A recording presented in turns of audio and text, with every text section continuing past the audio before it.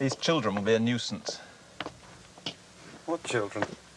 Heirs for crumbling Pendersley. Mother calls it marriage. I call it damnably unimaginative. Why always children? For love to end where it begins is far more beautiful. Hang on.